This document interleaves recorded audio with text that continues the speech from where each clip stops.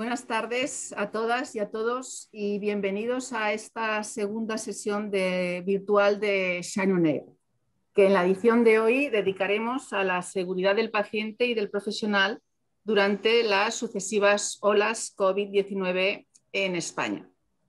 Eh, esta es una segunda sesión virtual y para aquellos que no pudisteis asistir a la primera, eh, haré una rápida eh, puesta al día y una rápida contextualización. Durante los meses de abril y mayo de 2020, FIDIS y SHAM lanzaron una encuesta para conocer la valoración de los profesionales, tanto sanitarios como no sanitarios, sobre cuestiones eh, de nuestro modelo de seguridad del paciente tradicional y cómo el COVID-19 les había impactado directamente.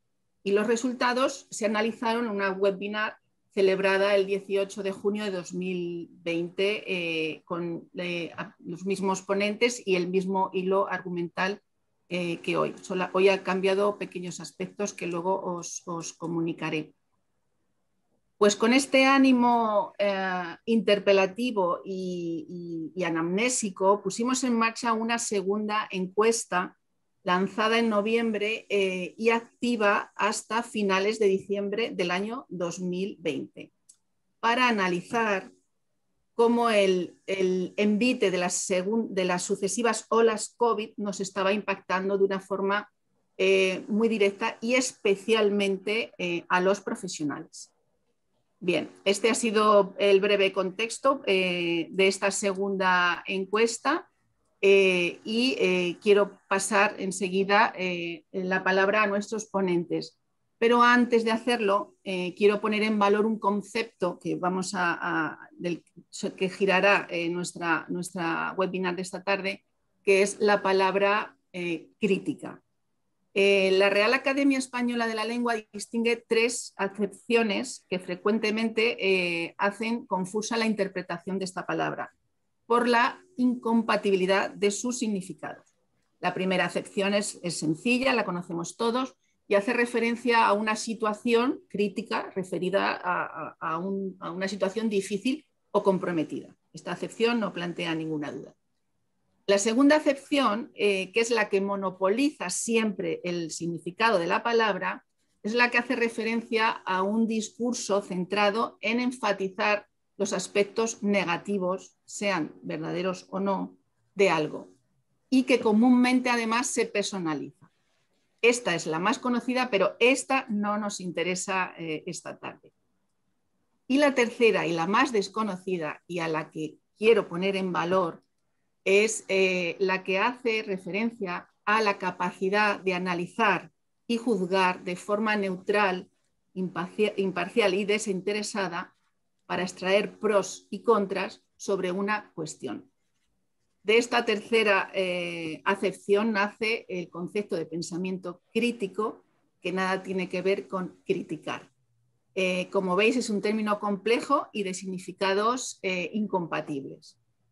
Pues bien, eh, quien llevó la crítica como ejercicio de salud para el pensamiento eh, fue Kant y a propósito de esto formuló tres preguntas eh, sobre las que reformularé luego a nuestros, a nuestros ponentes. sus preguntas fueron, ¿qué puedo hacer? ¿Qué debo hacer? ¿Y qué me cabe esperar? entonces, con este espíritu, espíritu crítico, eh, voy a ceder la palabra a mis ponentes, pero antes quiero eh, poner, eh, hacer una breve presentación de su, trayectoria, de su trayectoria profesional. Santiago Tomás Vecina es doctor en medicina, médico especialista en medicina interna, es jefe de la unidad de calidad y seguridad del paciente en los centros sanitarios de Badalona, en los serveis de la EBSC, ubicado en Barcelona, y es coordinador académico eh, de la Diplomatura del Posgrado de Seguridad del Paciente de la Pompeu Fabra. Y además es el director de la Fundación por la Investigación, Docencia e Innovación del Paciente FIDIS. Buenas tardes y bienvenido, doctor Tomás Vecina. Maricruz Martín Delgado es médico especialista en medicina intensiva, jefe del Servicio de Medicina Intensiva del Hospital de Torrejón de Madrid y es directora del área de salud del Instituto Superior de Derecho y Economía, ISDE. y además tiene una dilatada experiencia académica y docente y es profesora asociada de la Universidad Francisco de Vitoria y presidenta del patronato de FIDIS. Buenas tardes, doctora Martín del A continuación paso a presentar a Manuela García Romero, a la que quiero dedicar un especial saludo porque es eh, su primera vez en esta segunda webinar em, eh, y por eso pues, le, doy un efusivo, un efusivo saludo de bienvenida. Manuela es licenciada en medicina, especialista en, anestesiología y reanimación. Es eh, vicepresidenta segunda del Consejo General de Colegios Oficiales de Médicos y fue presidenta del Colegio eh, Oficial de Médicos de las Islas Baleares. Trabaja en la unidad de reanimación del Hospital Universitario de Son Espases y tiene además una dilatada trayectoria profesional y también eh, académica. Bienvenida, doctora García Romero. Muchas gracias. Y por último, quiero presentar a Frederick Food. Eh, Frederick es eh, licenciado en Medicina por la Universidad de, París-Ouest y es máster en Administración de Empresas y Marketing eh, de la Escuela Superior de Ciencias Económicas y Comerciales de París. Ha ocupado diferentes puestos de dirección en hospitales franceses eh, y en la actualidad, desde 2015, es director del Departamento de Gestión de Riesgos de SHAM en España. Bienvenido, eh, doctor Food. Eh, hechas las presentaciones, pasamos ya al turno de palabra y para ser rigurosos en los tiempos y el formato, yo tendré la áspera siempre responsabilidad de controlar el tiempo, porque lo que ruego os ciñáis rigurosamente a los tiempos establecidos. Y sin más dilación, damos la palabra, en primer lugar, al doctor Santiago Tomás. Eh, buenas tardes, eh, muchas gracias eh, Elena por tu presentación y gracias también a, Sham por la oportunidad de volvernos a encontrar aquí justo un año después para hablar de seguridad del paciente, seguridad del profesional en el contexto de, esta pandemia. Y también agradecerte esta introducción, esta introducción humanística que has hecho, que nos um, va a conducir a lo largo de la, de la tarde a algo más de, pensar en la ciencia, sino reflexionar ¿no? y ver un poco con esas tres eh, preguntas que nos quieres hacer hacia dónde pueden ir las cosas, que creo que puede ser interesante por lo menos que, que debatamos sobre ellos. Uh, bien, como todos ya sabemos, eh, la pandemia por coronavirus ha puesto en manifiesto toda una serie de déficits y situaciones que han condicionado y comprometido la respuesta sanitaria desde el desconocimiento de la enfermedad en sus fases iniciales hasta llegar a nuestros días en los que la vacunación está consiguiendo, al menos en estos momentos, mitigar los contagios y, evidentemente, las víctimas. Hemos observado cómo a medida que han pasado los meses se han ido generando suficientes evidencias científicas que han permitido ajustar las recomendaciones terapéuticas, reorganizar el sistema sanitario y eh, la elaboración de guías que han favorecido que podamos ir mejorando la atención a, la enfermedad y sin olvidar el desarrollo de medidas preventivas enfocadas a la población, a veces de difícil cumplimiento por parte de todos. Toda esta película evolutiva de la pandemia ha repercutido también sobre la seguridad del paciente, eh, es decir, ha llevado a la aparición de riesgos innecesarios asociados a la asistencia que hemos prestado no quiero hablar aquí de, cómo hemos hecho esa asistencia desde un punto de vista de manejo de la patogenia, manejo de la enfermedad, sino las consecuencias de las cosas que hemos llegado a hacer que han complicado incluso la evolución de los pacientes, tanto con COVID como los sin COVID. Y además, porque han aflorado toda una serie de condiciones latentes que estaban ahí desde hace años, que probablemente en estos momentos ya casi ni considerábamos y que han resurgido con un fuerte empuje y que en estos momentos están dando lugar a la aparición de nuevos riesgos o situaciones que ya estábamos acostumbrados a vivir y que en estos momentos sus mecanismos, las causas por las cuales lo provocan, pues eh, las hacen convertir en un campo de trabajo y de acción que tendremos que ir pensando en el futuro. Como bien has expuesto antes, eh, Fidis y Sham ya hace un año nos preocupamos sobre estos temas y empezamos con la elaboración del primer informe SEC-COVID, con la encuesta que realizamos y se presentó en el mes de junio pasado. Posteriormente se realizó esta segunda encuesta a finales del año 2020 para ver cómo estaban evolucionando las cosas en seguridad del paciente y en seguridad del profesional, teniendo en cuenta, como decía anteriormente, que hay muchas cosas que fueron por decirlo de una manera, mejorando o cambiando durante estos meses y queríamos analizar cómo estaba repercutiendo, que es lo que vamos a presentar ahora, ahora en esta tarde. ¿no?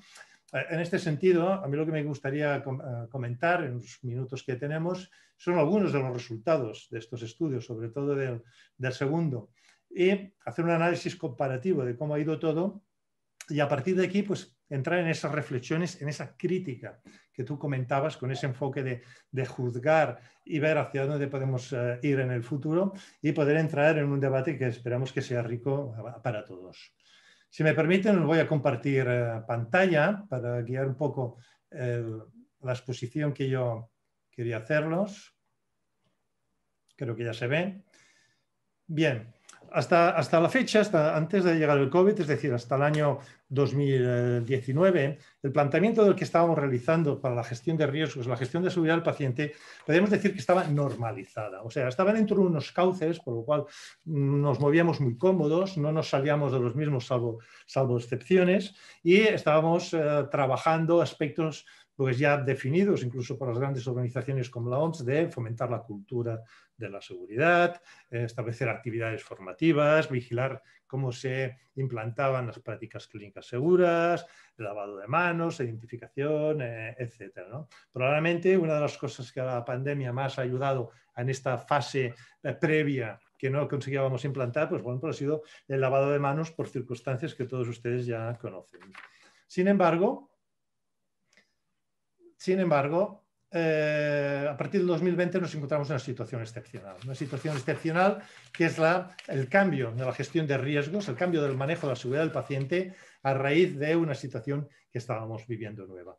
La verdad es que mm, todos los sistemas sanitarios no es que estuviéramos acostumbrados, pero sí que aceptábamos dentro de nuestras posibles actividades el hecho de que en un momento u otro tuviéramos que atender situaciones críticas o emergencias delante de catástrofes naturales, eh, terrorismo o accidentes múltiples. Y en este sentido, la característica principal es que, em, más allá del impacto inicial de, saber que teníamos que atender múltiples víctimas, eh, sí que sabíamos que esto era una actuación limitada en el tiempo y que afectaba a nivel local, afectaba ahí donde se había producido el, evento. Sin embargo, la pandemia reúne unas características diferentes. Lo que ha pasado ha sido totalmente diferente eh, y probablemente no se ha valorado en sus fases iniciales de la misma manera. Estábamos hablando que tenía un inicio progresivo, que quizá al principio ni nos lo creíamos, que las necesidades de asistencia fueron progresivas, aumentando el número y persistente en el tiempo, y que generó mucha incertidumbre, o generado incluso todavía incertidumbre, porque no sabíamos la duración que podía tener ello, el alcance y la magnitud de la respuesta que teníamos que dar nosotros ante esta, ante esta situación.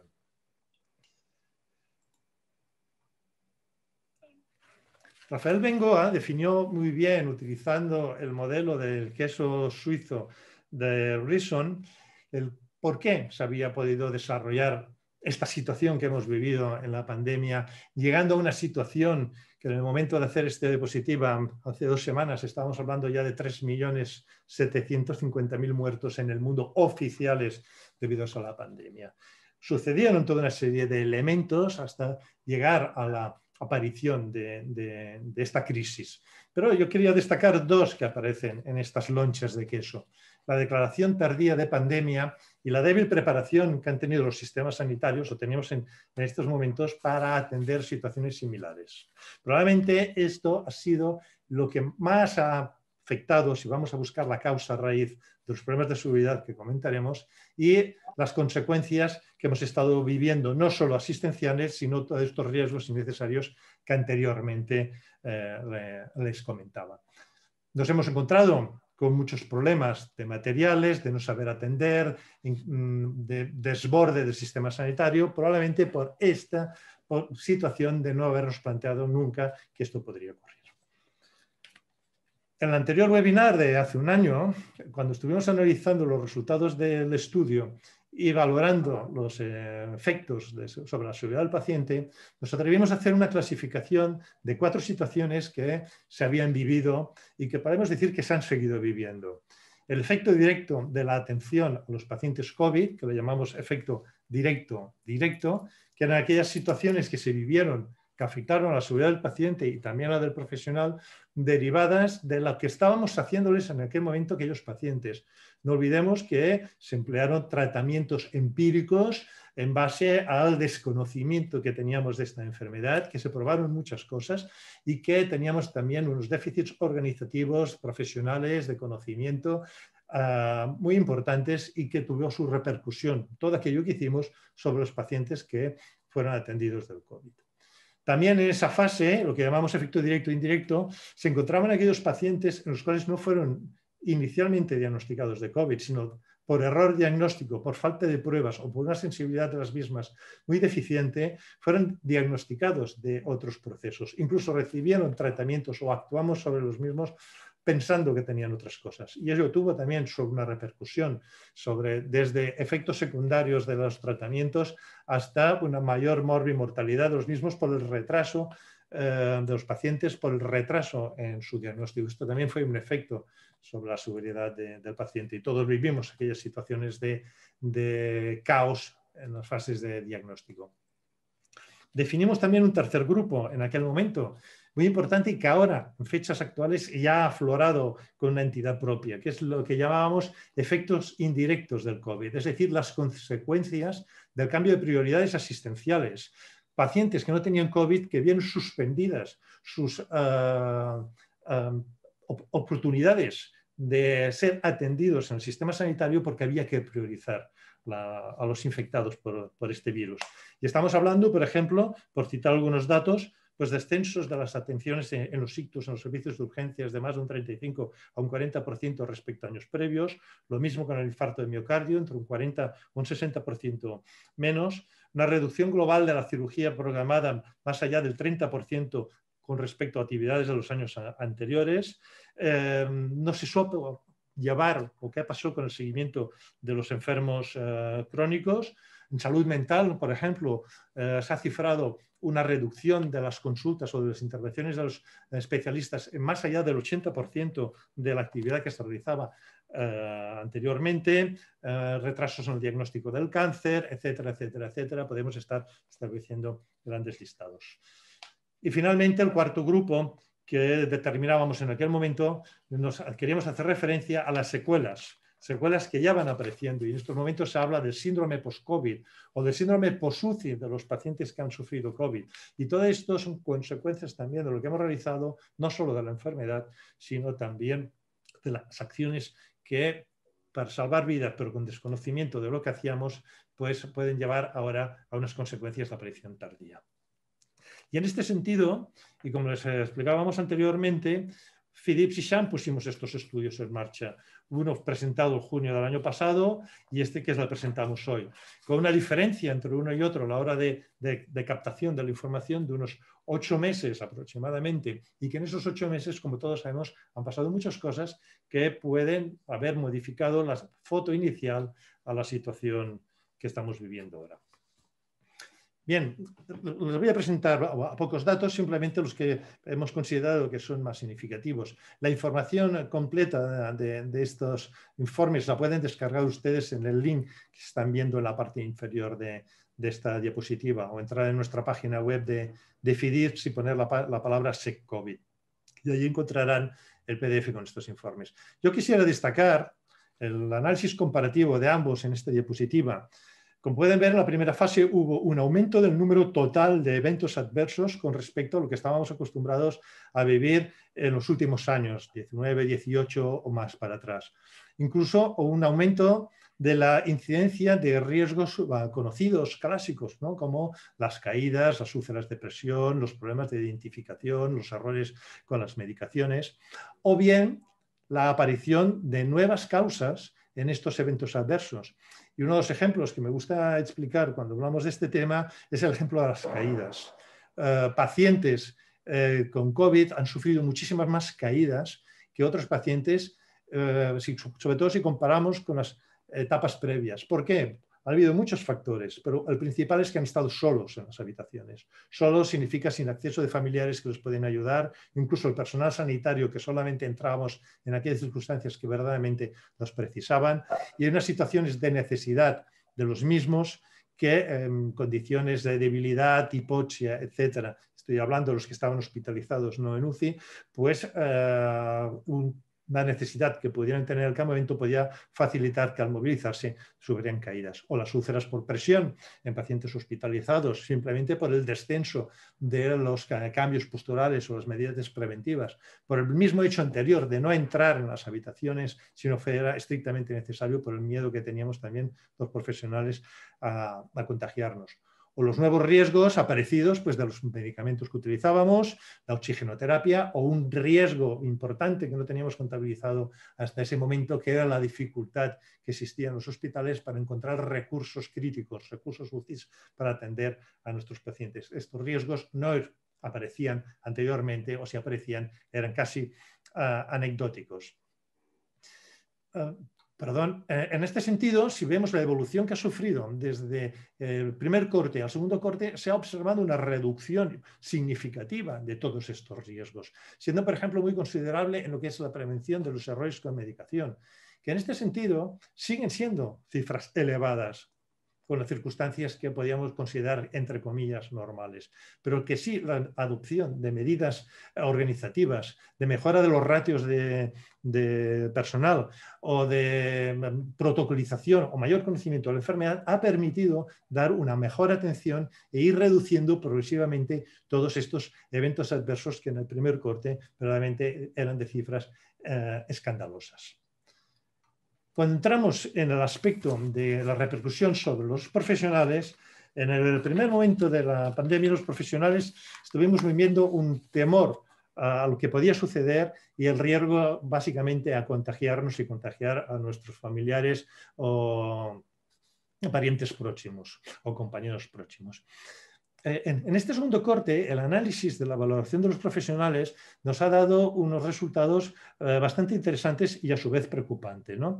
no solo el aumento de contagios que hubo en la primera fase, pero si se fijan ustedes en esta diapositiva, a partir del segundo semestre se redujo muchísimo los contagios en los profesionales, sino también ese miedo a contagiar, como decía, familiares pero las repercusiones psicológicas de lo que se estábamos haciendo, a nivel de la necesidad manifiesta de solicitar ayuda de soporte emocional, las sensaciones de sobrecargas laborales o la dificultad para conciliar la vida laboral con la vida familiar, incluso eh, la necesidad de tomar psicotropos debido a la situación de estrés que se estaba viviendo. Esto ha sido preocupante porque ha ido increciendo y se ha manifestado en este segundo corte con los porcentajes que pueden ver en esta diapositiva eh, bastante eh, considerables.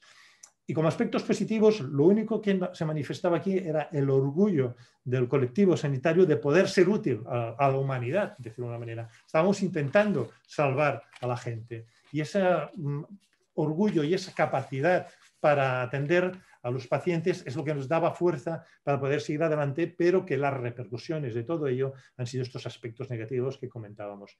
Y un punto a comentar, un punto negro, la desconfianza que ha existido y sigue existiendo del personal sanitario hacia las organizaciones sanitarias y hacia el sistema sanitario sobre las informaciones de la evolución de la pandemia y de las acciones que se estaban realizando. Se ha generado mucha desconfianza, las informaciones han sido muy variopintas y verdaderamente los sanitarios siguen en estos momentos bastante preocupados por la sensación de no conocer la realidad del todo.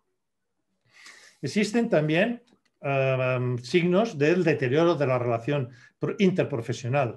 Llama la atención que las diferencias que han ido surgiendo entre los dos estudios eh, en estos momentos tengan un mayor peso sobre las necesidades psicológicas. En la primera fase de la pandemia estábamos hablando de que faltaban materiales de protección y esto era lo que más preocupaba por el riesgo de contagio y porque también se estaban tomando decisiones en algunos momentos éticamente cuestionables por la falta de recursos y en estos momentos el principal peso que eh, hay sobre la seguridad profesional es el tema de la repercusión psicológica y emocional. Esto es eh, está ilustrado, eh, eh, existe cuando hablamos de segundas víctimas eh, delante de las catástrofes. Hay una fase inicial que de impacto de lo que ha ocurrido y luego de superhéroes, por decirlo de una manera, es decir, que sacamos fuerza de donde sean para seguir adelante y dar una atención sanitaria lo suficiente competente e importante. Pero ese esfuerzo, que a veces es titánico, decae a medida que va pasando eh, el tiempo, pero no decae por las ganas de hacerlo, la necesidad, sino porque el estrés que genera es difícil de mantener. Y entramos en estas fases, en esta curva de esta gráfica extraída de la John Hopkins, en la cual pueden ver ustedes cómo eh, hay momentos de gran bajada a los cuales entramos en la fase de lo que conocemos como segundas víctimas y muchos de los profesionales cuesta en estos momentos sacarlos de aquí. ¿Y qué es lo que ha llevado todos estos datos o estas... Eh, Santiago, discúlpame, tienes que... no, quedan dos diapositivas. Pues lo que ha llevado es a que en estos momentos estemos viviendo como principal riesgo el concepto de segundas víctimas. El personal sanitario está agotado, necesita recuperación y es la principal consecuencia sobre la seguridad del paciente que en estos momentos estamos eh, valorando o estamos encontrando. Porque la segunda víctima también repercute sobre la atención que hagamos a los pacientes. Hemos aprendido muchas cosas sobre la pandemia eh, rápidamente en esta diapositiva, no voy a comentarlas, simplemente quiero decir que todas estas acciones que aparecen aquí son situaciones o cosas que se han creado para atender a los pacientes y por tanto también tienen riesgos intrínsecos en, los mismos y que en función de cómo se apliquen pueden llevar riesgos sobre el paciente. Por ejemplo, simplemente por citar alguno, las pruebas diagnósticas que empleemos pueden, si se emplean mal o se indican mal, generar brotes intrahospitalarios y brotes de COVID, por tanto es una situación nueva. Y como conclusión, de estos estudios, básicamente cinco, muy rápidas, que hemos de conseguir que la gestión de riesgos sea lo más holística posible, es decir, lo más integradora y proactiva, adelantarnos a los que no puedan venir, no reactiva como ha pasado en la pandemia y es muy importante la necesidad del liderazgo, el liderazgo directivo y el liderazgo también del sistema sanitario para poder ir todos en una misma dirección, en una misma línea. Eh, que el impacto de los eventos adversos ha puesto de manifiesto la necesidad de mantener los registros y evaluar que las prácticas seguras, eh, clínicas seguras se cumplan correctamente. Hemos visto cómo estas que creíamos que teníamos asumidas se han disparado o se dispararon en unos valores inaceptables, pero que podía existir una justificación detrás.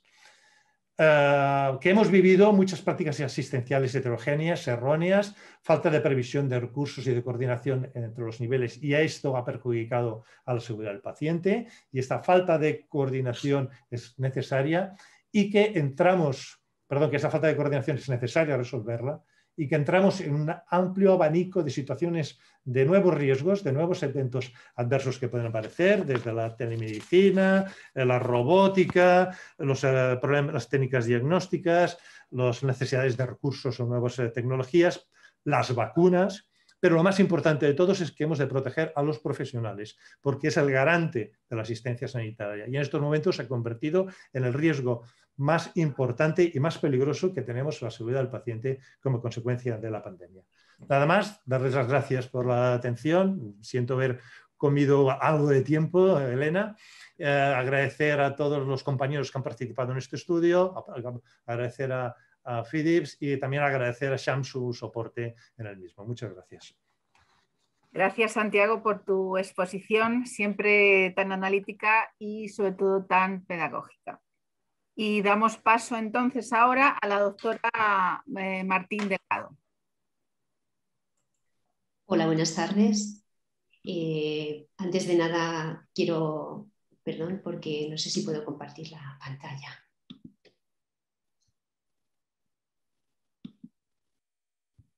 No la tengo abierta.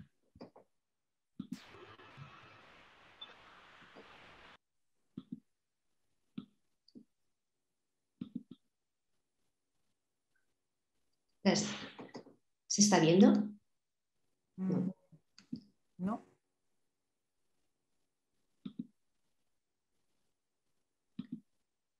Ahora sí. Ahora sí, ¿verdad? Ahora sí. Perfecto. Bueno, buenas tardes a todos. Eh, especialmente agradecer a las personas que se han conectado a este webinar, a Elena por su presentación y también a Sam por haber compartido este proyecto con nosotros. Y durante los próximos minutos voy a hablar específicamente del impacto en los profesionales de esta pandemia y especialmente lo que ha ocurrido en la primera ola respecto a las siguientes. Eh, sabemos todos que mientras En los primeros meses de marzo y abril nuestras ciudades se vaciaban y gran parte de la población se mantenía confinada. Nuestro sistema sanitario estaba en ebullición, un sistema sanitario saturado con altas demandas, pero a la vez con escasez de recursos, especialmente equipos de protección individual, en un marco alto de incertidumbre en el que estábamos haciendo asistencia y a la vez investigación, aprendiendo a manejar la enfermedad con planes de contingencia y después de desescalada muy dinámicos y no siempre eh, eh, eh, los profesionales eran conscientes de ellos, con cambios de roles, con mucho miedo a enfermar de los propios profesionales y contagiar a sus familias, con toma de decisiones éticas muy difíciles y un gran impacto en todas las corrientes de humanización. Eh, sabíamos que tres eran los pilares que manejan sistemas sanitarios y que estarían enfocados, según Berwick, en los resultados clínicos, en la satisfacción del paciente y los costes de la atención, pero ahora se ha puesto todavía más en manifiesto la importancia también de otra de las patas, que sería la satisfacción de los profesionales. Como comentaba, toda esta pandemia, especialmente durante los primeros meses, ha repercutido mucho y especialmente en los programas de humanización de diferentes ámbitos, cuidados al final de la vida y sobre todo, sobre todo el aislamiento que han tenido los pacientes de sus familias ha sido una de las caras más crueles de esta pandemia. Y esta fotografía para mí impactante de un compañero intensivista de Houston, el doctor Barón, que es reconocido a nivel internacional, abraza a un paciente que llora por no poder estar acompañado de su esposa. Existen antecedentes importantes de cómo otras enfermedades víricas a nivel global eh, han impactado en los profesionales, por ejemplo el ébola, en el que fallecieron el 50% de los profesionales sanitarios infectados y con un alto nivel de estrés postraumático en el post-pandemia, y el impacto que está teniendo cada vez más relevante de esta pandemia en los profesionales sanitarios es más evidente. Sabemos que en estos momentos eh, habían fallecido más de 17.000 profesionales de salud eh, por causa del COVID-19 en un informe elaborado por Amnistía Internacional en la que ya hace un llamamiento eh, urgente de que al menos estos profesionales en estos momentos se acelere la vacunación de este colectivo que en nuestro país pues, ha sido una realidad, pero no en todos los países a nivel mundial y también iniciativas como la Organización Mundial de la Salud, en la que analiza el nivel de mortalidad de esta pandemia entre los profesionales y pone de manifiesto la falta de datos y de transparencia de muchos países. Son pocos los que lo han hecho públicos, muchos de forma incompleta, y reclama que esta información eh, de alguna manera eh, llegue a toda la sociedad y es uno de los datos que sería relevante conocer y que parece mentira que en estos momentos no haya información válida y fiable sobre ello. Sí que algunos países, como por ejemplo Estados Unidos, con una cultura de transparencia mucho más alta, pues ha hecho informes relacionados en los que se ha visto que la mayor mortalidad ha estado en los meses del año pasado, de marzo y de abril, y que se ha relacionado con la falta de equipos de protección individual y que ha afectado a colectivos, sobre todo de enfermería y otros ámbitos no hospitalario como el sociosanitario. Pero hemos visto como conceptos que muchos de eh, profesionales no tenían integrados eh, en sus conocimientos o al menos desarrollados, como concepto de distrés moral, eh, ha florecido de una forma muy importante en la que los profesionales han visto cómo sus consideraciones morales eran vulneradas por la situación en la que se estaba viviendo con mucho daño moral cuidados percibidos como inapropiados al ver que no podían ofrecer a los pacientes eh, lo que ellos estaban acostumbrados o que no estaban alineados con sus conocimientos o creencias. Es algo que ocurría anteriormente a la pandemia en algunas unidades, como nuestras unidades de cuidados intensivos, pero que ahora se ha multiplicado y también conceptos como la fatiga por compasión, en la que existe un desgaste por empatía y que se enfrentan los profesionales al estar en contacto con el sufrimiento de otras personas, sería el coste emocional por preocuparse eh, de los pacientes y que estaría más ligado a un compromiso afectivo que a la sobrecarga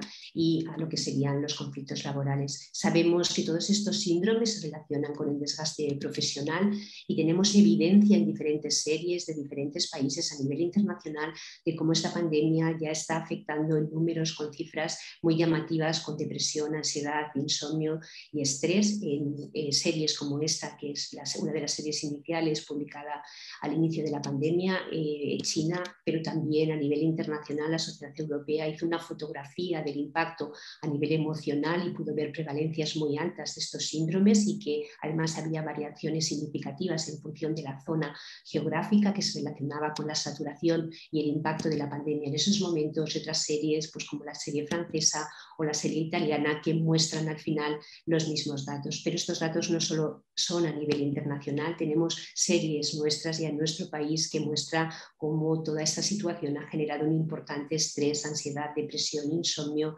y que algunos grupos han sido especialmente vulnerables, como las mujeres o los profesionales en este estudio de mayor edad, pero esto es controvertido, y como algunas variables como el contacto directo con eh, pacientes con eh, infección por COVID-19 podían desencadenar más estos síndromes quiero eh, mostrar que existe ya bibliografía y referencias significativas en nuestro entorno en el que se pone de manifiesto todos estos síndromes y destacar el concepto que también eh, Santiago Tomás ha presentado de, eh, por otro lado, algo positivo como podría ser la, satisfacción por compasión que han presentado algunos colectivos, como el caso de enfermería, en el que el contacto directo con el paciente y el reconocimiento que han tenido a nivel de la sociedad ha generado algunos aspectos positivos.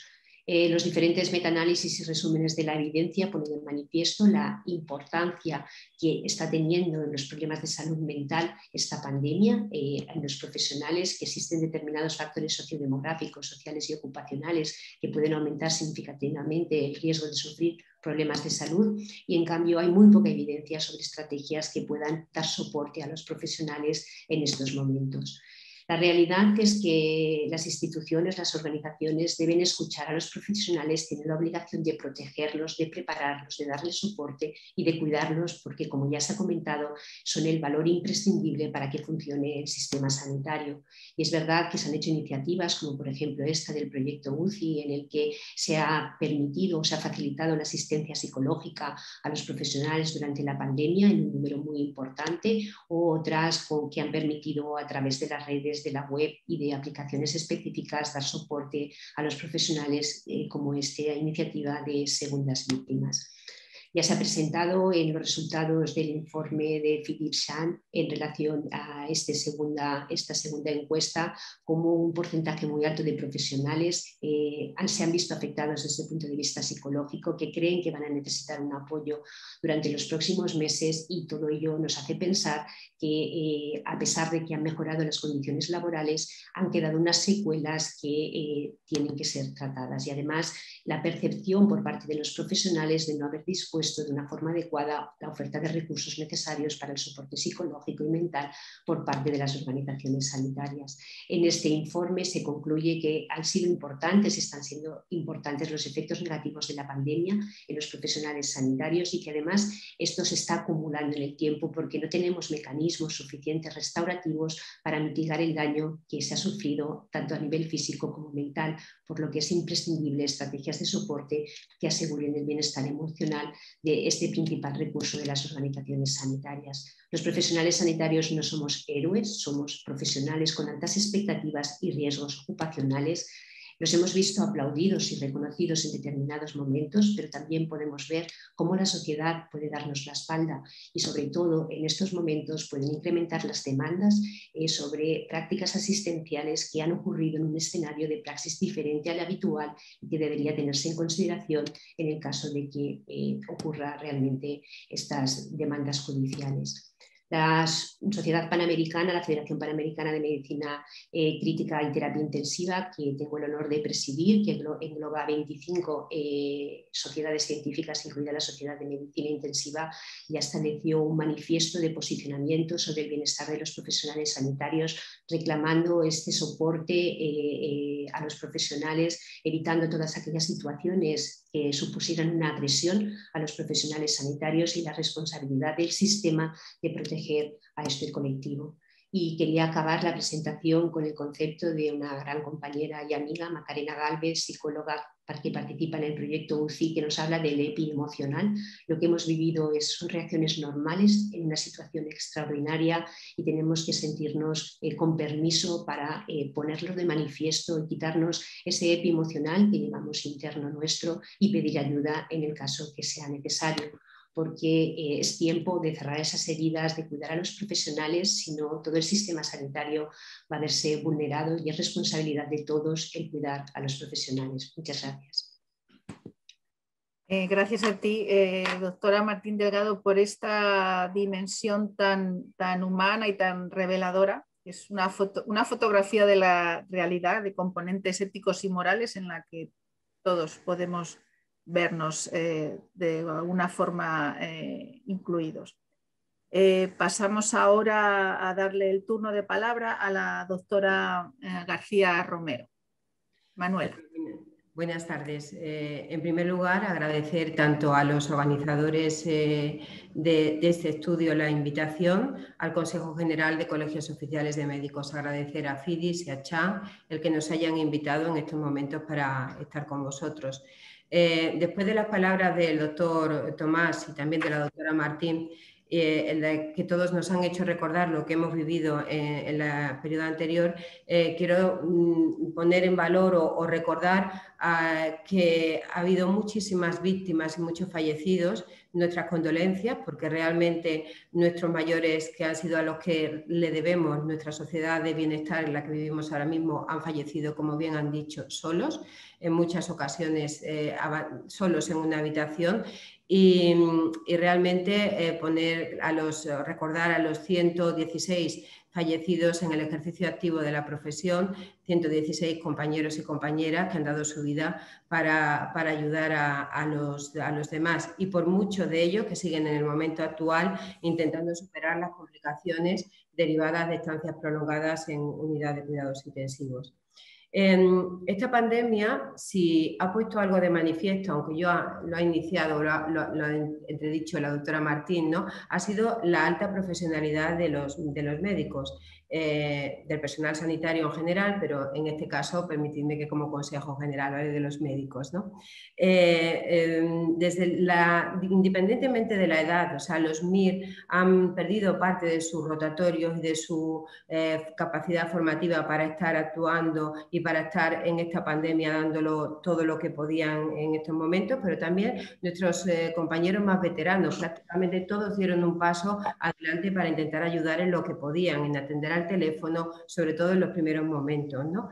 También ha sido independientemente de la especialidad. Eh, ha habido especialidades que se han visto reforzadas eh, poderosamente con otros compañeros que rápidamente han dado un paso adelante a, ayudar. Y entonces hemos visto traumatólogos pues, ayudando en plantas de medicina interna o sobre todo endocrinos o reumatólogos ayudando en plantas de medicina interna eh, en, de neumología. Por lo tanto, ha sido un momento de, dar un paso adelante en todos los profesionales médicos. Y también hemos visto cómo la medicina privada y la medicina pública, todas a una han intentado aunar esfuerzos para salvarnos de esta pandemia, que creo que en ningún momento era predecible, que todos veníamos muy tranquilos de pandemias como el, como el, el, ébola o como la gripe aviar y parecía que esta iba a ocurrir lo mismo, iba a pasar de soslayo y no nos iba a tocar. Em, cuando miramos los estudios o los datos de los estudios, eh, lo primero que, me ha hecho recordar, ¿no? cuando leía en casa los resultados del SES-COVID-1 y del SES-COVID-2, pues eh, que se ven muy retratadas las diferentes etapas que hemos vivido. En la primera etapa, eh, donde se realiza la, encuesta, pues vemos cómo la incertidumbre, las faltas de equipo de protección, el miedo, son el desconocimiento de la enfermedad, de los medios de transmisión, son fundamentalmente lo que, lo que prima y que eh, creo que es, según las la, brechas de seguridad ahí han sido muy importantes en esos momentos porque había un desconcierto generalizado e intentábamos salvar la situación así como podíamos, ¿no? en, en, muchas maneras, haciendo eh, y recibiendo unos protocolos que continuamente iban cambiando y te ibas intentando adaptar a esos protocolos que de hoy a mañana podían haber cambiado, ¿no?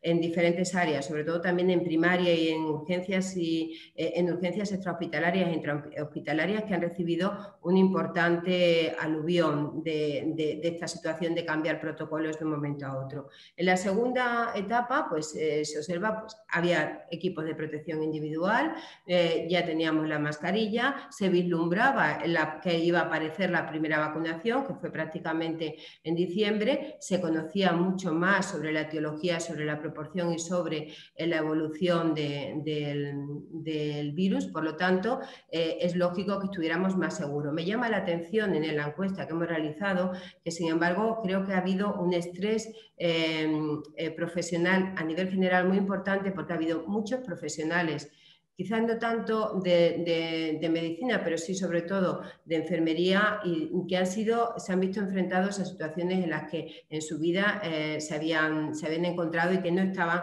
preparadas. Por ejemplo, enfermeras que acababan de terminar y estaban ayudando en esos momentos en un área de cuidados críticos.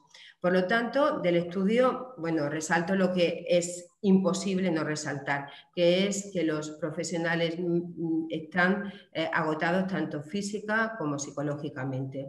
Los estudios que se han presentado coinciden prácticamente, o el estudio presentado coincide prácticamente con el que se ha realizado en la organización médica colegial.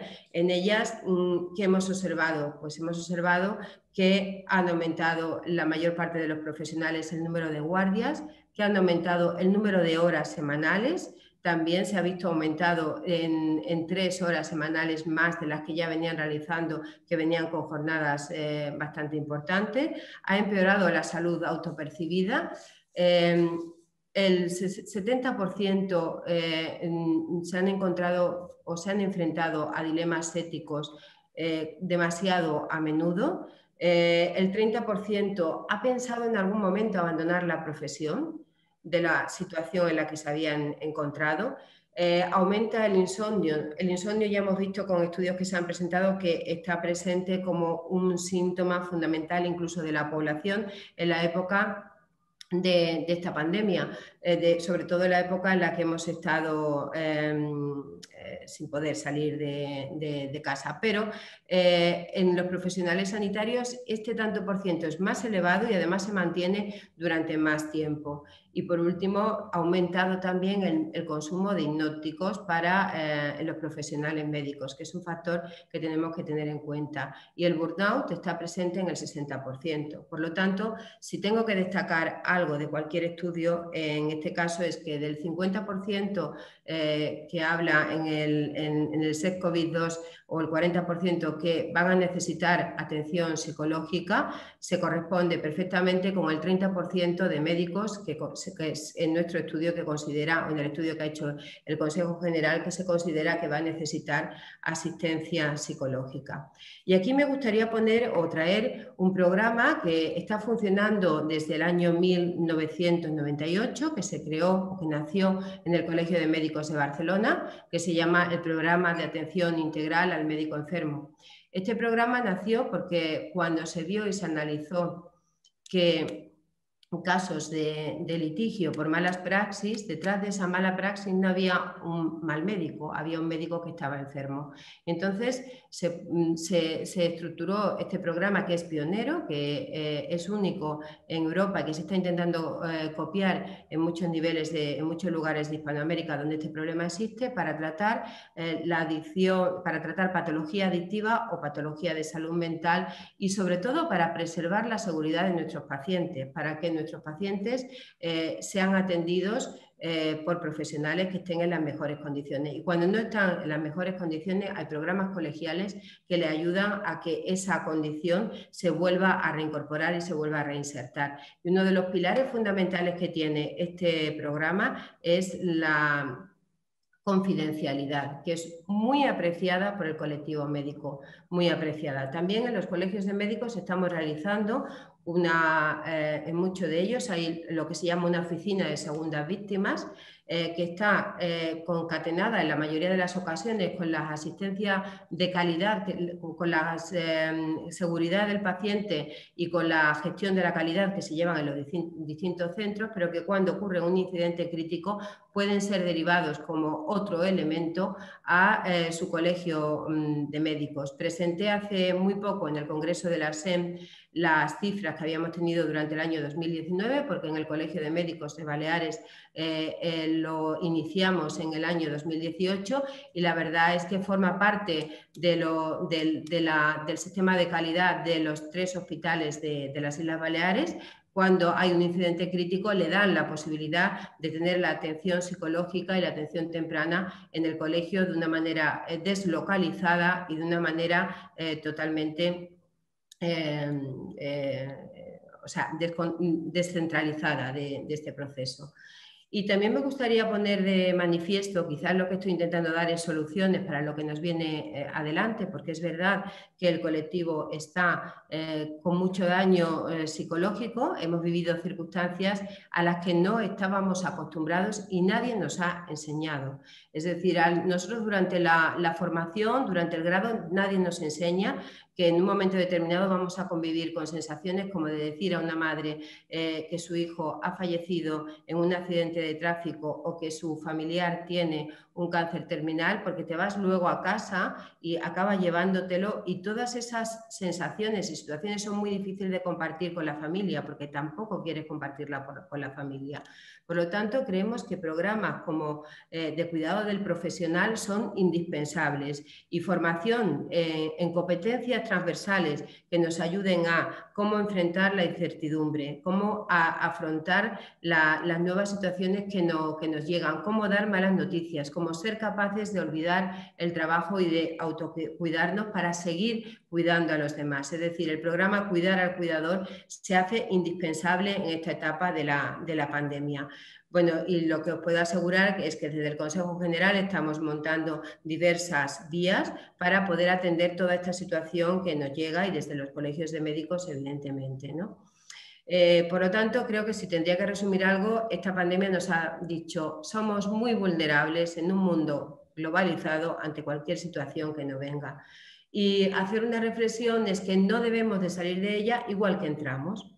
Es decir, eh, había una, hay una frase de Ramón y Cajal que dice, las ideas no duran mucho, pero hay que hacer algo con ellas. ¿no? Pues estábamos en una situación donde, donde venimos de un sistema nacional sin recursos económicos suficientes para mantener unos estándares de calidad eh, adecuados y unos altos estándares de calidad que se han mantenido hasta ahora, no hay que cañarse, se hacen con los profesionales sanitarios, con los miles de profesionales sanitarios que trabajan para que el Sistema Nacional de Salud sea un sistema nacional de calidad.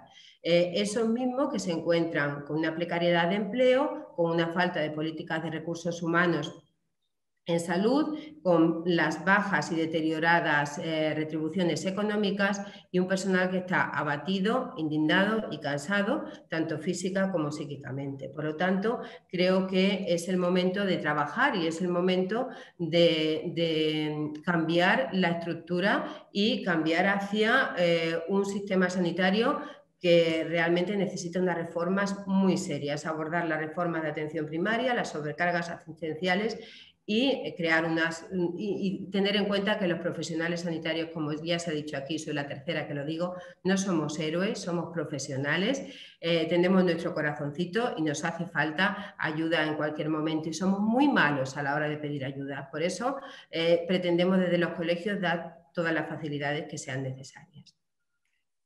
Gracias, doctora García Romero, por poner en valor el cambio de rol que están viviendo los profesionales, pasando de ser profesionales a pacientes. Entonces esperemos que el concepto de nueva normalidad eh, recoloque a todos en el, rol que, le corresponde. Y por último, quiero presentar a, a que le doy la palabra eh, y que le ruego que sea muy riguroso. Lo siento, pero. Me quedan cinco minutos, ¿verdad? le, voy a regalar tres minutillos por el caso que, acumula de, sus compañeros ponentes. Cuando quieras, Frederic. Vale, muchas gracias, Elena. Bueno, en primer lugar, por supuesto, quiero, y si me permitís, agradecer a Santiago por su gran trabajo y su, su confianza involucrando a, a, en este segundo estudio sobre los impactos de la crisis del COVID. Y agradecer, por supuesto, a, las panelistas eh, por, su, por su, su aportaciones, sus comentarios. Bueno, como, como sabéis, Sham es una mutua aseguradora especializada en la responsabilidad civil médica, es decir, que aseguramos a los centros y a los profesionales de salud eh, por las consecuencias de una mala praxis, eh, eh, que puede tener como consecuencia daños corporales, daños psicológicos.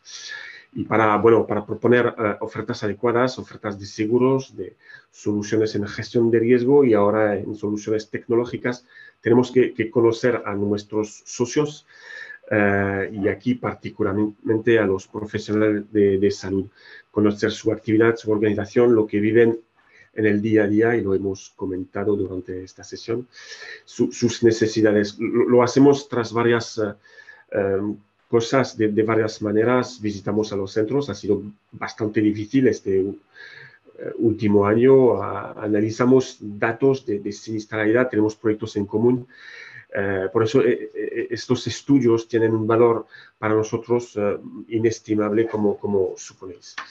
Por lo que hemos aprendido de, este nuevo estudio, lo, lo, hemos comentado bastante, al menos desde la perspectiva de una aseguradora.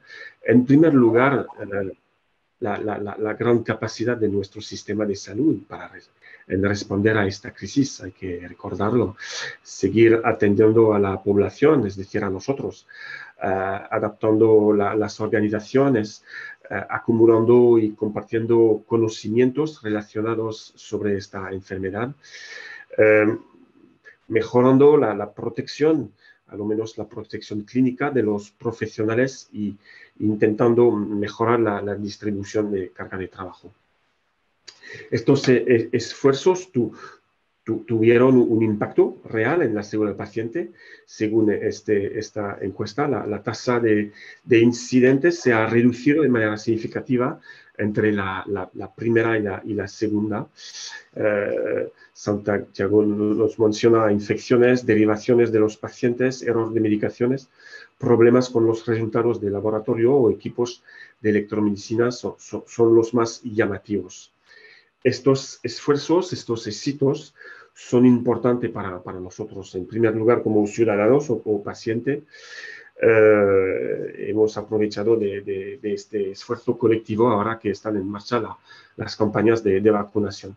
Pero también es un motivo de orgullo de, de pertenecer a, esta comunidad y, haber contribuido, aunque sea modestamente, a este esfuerzo colectivo. Eh, hemos sido capaces de adaptar muchos de, nuestros contratos en urgencia, ampliando los perímetros de, cobertura para incluir, por ejemplo, nuevos médicos de refuerzo que fueron convocados por hospitales y administraciones. Me refiero a, a médicos jubilados, estudiantes, o, nuevos centros como hoteles medicalizados y hospitales de campaña. A, día de hoy, SHAM es la única, casi la única aseguradora que, que incluye el riesgo COVID en, su, en sus contratos.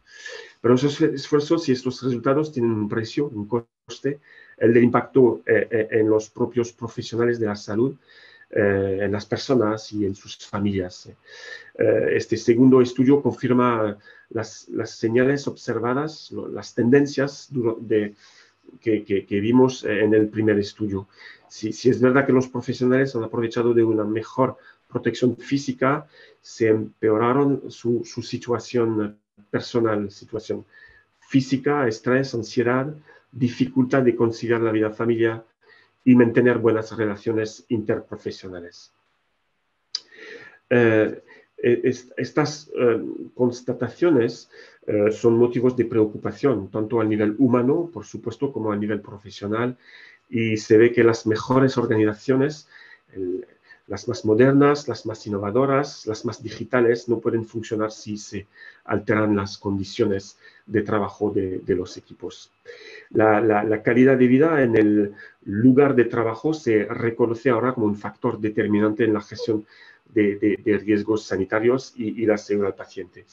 el premio SHAM que, otorgamos cada, cada, año ahora incluye una categoría dedicada a la calidad de vida en el ámbito laboral y hemos recibido este año muchos proyectos en este tema que se, que se ponen en marcha, proyectos de sensibilización, de apoyo a profesionales de salud Em, con, este tipo de, dificultades. Y, Manuela ha, mencionado eh, proyectos en, Cataluña y, en Baleares que, conocemos eh, muy bien. Haciéndose eco eh, en este estudio, y es mi último punto, de este estudio, de estos dos estudios llevados a cabo por, por FIDIS, las reclamaciones relacionadas con, con, el COVID y que gestionamos como aseguradora aportan información complementaria, adicional y son informaciones bastante alineadas con, con lo que nos, nos enseña la, la, eh, eh, eh, encuesta. De todos los casos recibidos, si hay una parte que, que se refiere a, daños materiales, hay una parte que crece en, en, en, reclamaciones relacionadas con lesiones corporales y más de la mitad de estas reclamaciones Em, siguen el, fallecimiento de, un paciente, lo, cual está en consonancia con la gravedad de la, epidemia. El 75% de los motivos de, estas reclamaciones han sido por las causas siguientes de organización de la asistencia, de indicación de, la asistencia de la, o de la ausencia de, de, asistencia, de infección y de error de, diagnóstico. Y las principales especialidades eh, médicas implicadas han sido en medicina interna, eh, medicina familiar y comunitaria y, geriatría.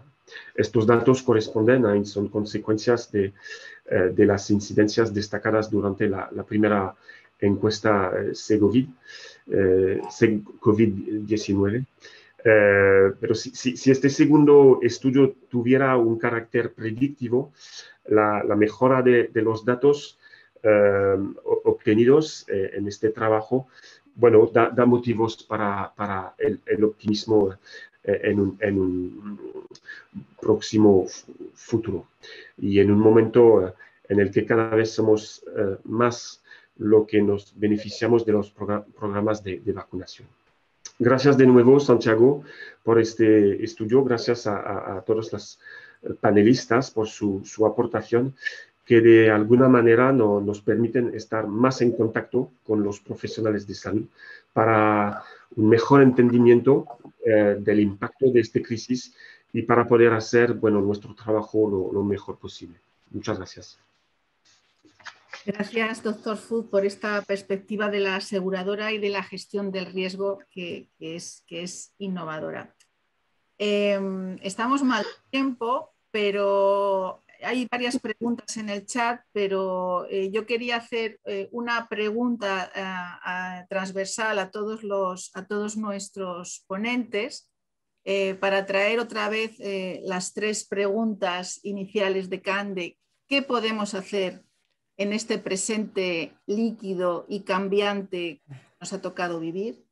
¿Qué debemos hacer apelando a nuestro sentido de la responsabilidad individual cada uno y social? ¿Y qué nos cabe esperar del futuro? Así que si queréis contestar por el mismo orden en el que habéis participado, Santiago, empiezas tú. ¿Qué podemos hacer? ¿Qué debemos hacer? ¿Y qué nos cabe esperar? ¿Qué, podemos hacer es eh, aprender de todo lo que ha ocurrido?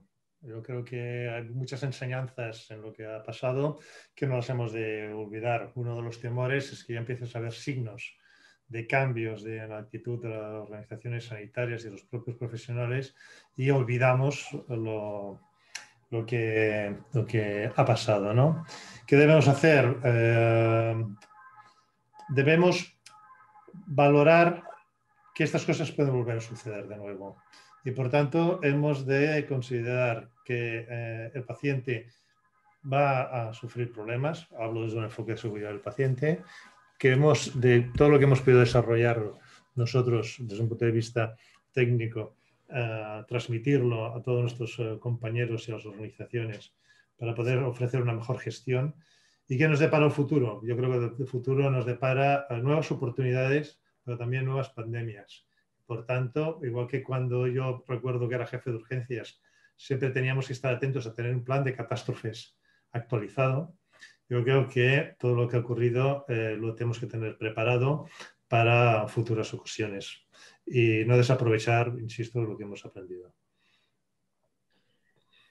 Por mi parte, desde el punto de vista enfocado a eh, lo que sería el impacto en los profesionales, creo que la parte buena es que poder hacer, podemos hacer mucho. Eh, hay muchas cosas que se pueden hacer porque al igual que son muchos los factores que han favorecido este impacto en la salud mental, hay muchos factores que pueden revertirse y muchas maneras diferentes de dar soporte.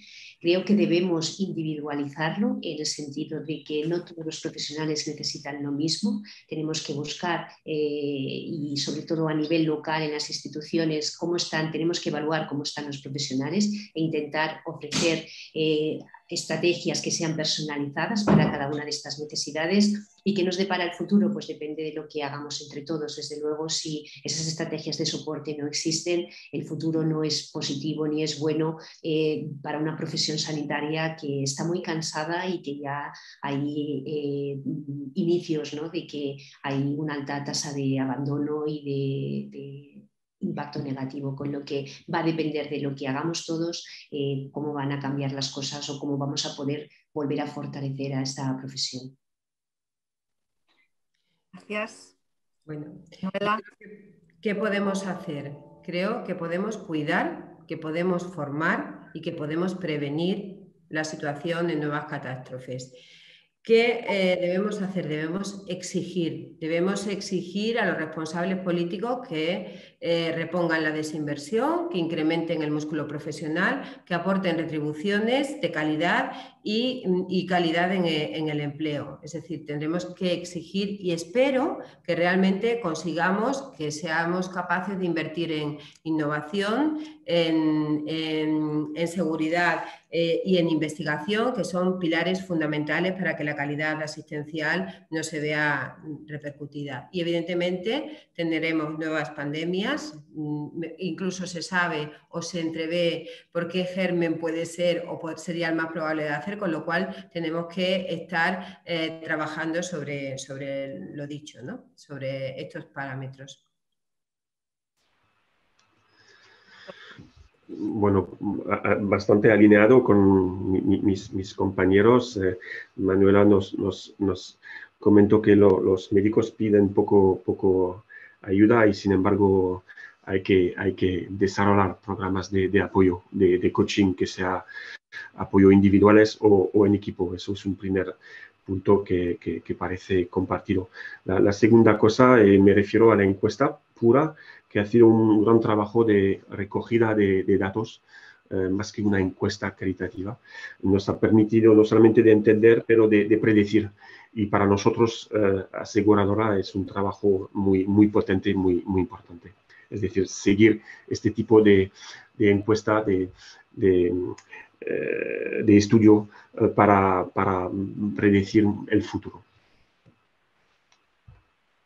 Muy bien, muchas gracias. Em, desde el 13 de febrero del año 2020 que se diagnosticó el primer caso de COVID en España, Hemos vivido, vivimos eh, tiempos de profundas transformaciones sociales, laborales, políticas, científicas, económicas. E incluso hemos acuñado hasta nuevos conceptos como el del pasaporte de la inmunidad que, era impensable.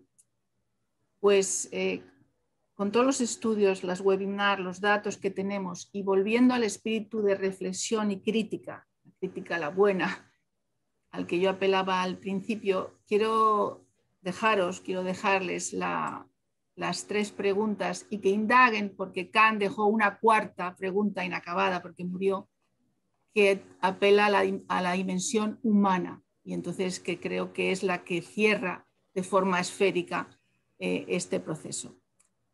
Eh, nada más, eh, gracias por su atención, gracias a los ponentes eh, por su claridad en la exposición y su capacidad de síntesis. Eh, los informes de las dos encuestas y las grabaciones estarán disponibles en las páginas web y en, todas las redes sociales, tanto de FIDIS como de SHAN. Y quiero también agradecer de forma especial al Departamento de Comunicación de, de SHAN y al de Desarrollo eh, por su apoyo siempre incondicional y, por su validez técnica. Nada más, buenas tardes y les deseo una feliz, feliz normalidad. Adiós.